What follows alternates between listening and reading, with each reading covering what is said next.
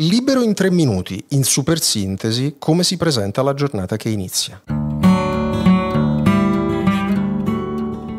No, ma come ce l'hanno la faccia, scusa? Allora, quelli dell'Usigrai il tradizionale sindacato molto di sinistra, molto progressista dei giornalisti della RAI, ha proclamato, aveva proclamato per ieri, eh, lunedì 6 maggio, un grande sciopero. Per cosa, compagni?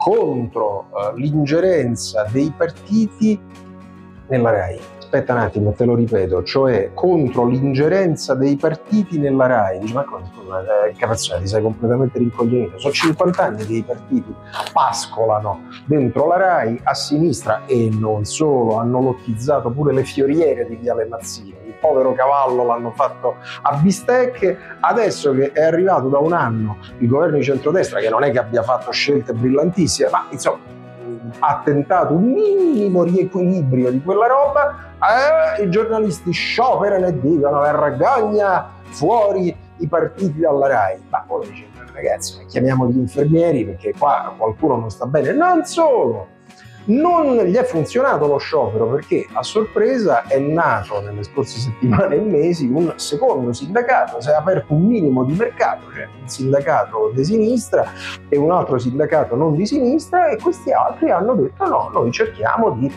mandare avanti le edizioni, le edizioni di TG1 e TG2 sono andate effettivamente in onda, lo sciopero ha fatto un flop clamoroso che fanno questa mattina i giornali fiancheggiatori del sindacato di sinistra? O nascondono la notizia, o hanno la crisi isterica, ah, è stato boicottato lo sciopero, sa come le vacche sacre in India non si può toccare lo sciopero, oppure vanno direttamente all'aggressione dell'altro sindacato, descritto come un sindacato giallo, servo del padrone, eccetera.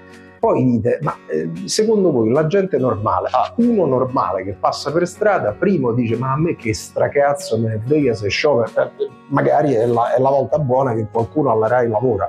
Secondo, scusa, ma ti sembra eh, normale scioperare per un servizio pagato con i soldi dei contribuenti? Terzo, la gente c'ha da fare oltre che seguire queste vicende. Quindi pensare che la gente si appassioni a questa cosa qua, anzi che si appassioni al fatto di non lavorare e di non mandare avanti un servizio pagato con i soldi del pubblico è francamente una cosa surreale. Ditemi la vostra qui sotto se volete nei commenti.